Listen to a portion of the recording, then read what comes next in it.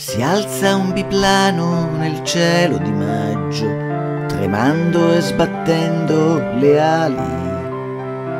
Con un ruggito di belva ferita, il motore reclama attenzione.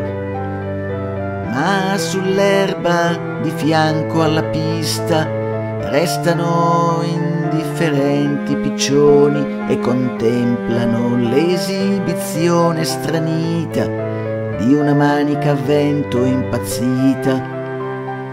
Dentro lo spaccio la donna sorride e subito abbassa lo sguardo. È un rito antico la sua timidezza, celebrato da generazioni.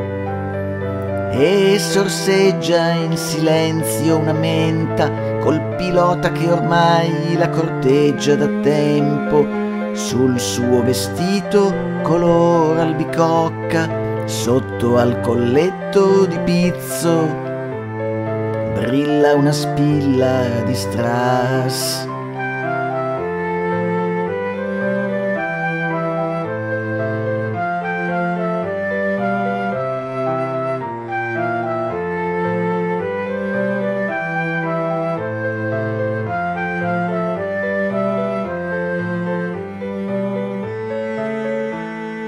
Per tutto il giorno il sole ha scaldato le case, le vie, le macerie di una città ancora insanguinata, ma che vuole vivere ancora.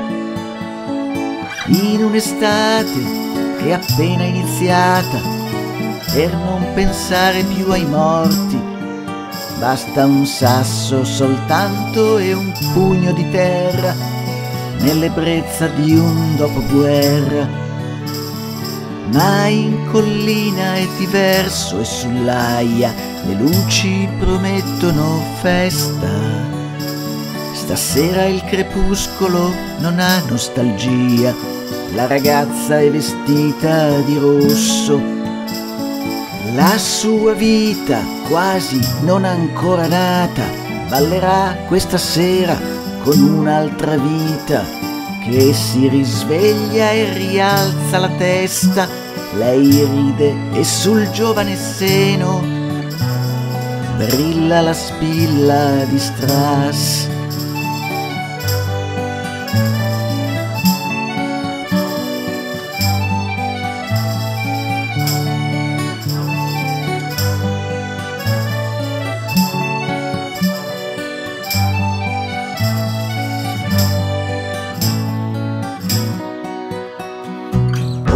Macerie son solo un ricordo che si dissolve man mano.